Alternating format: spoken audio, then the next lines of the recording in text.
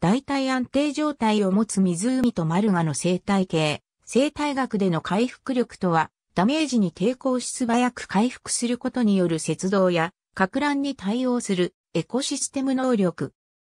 混乱や上乱には、火事、洪水、暴風雨、虫の群れの爆発力、異常繁殖、森林伐採、土壌中への農薬散布、外来植物や動物種の導入などの人的活動で引き起こされる確率論的事象が含まれるが、規模、または長期間などの要因で、その障害は生態系に深刻な影響を及ぼす可能性があり、それを超えると、プロセスや構造の異なる体制が優位になる敷地に生態系が強制的に到達する可能性もある。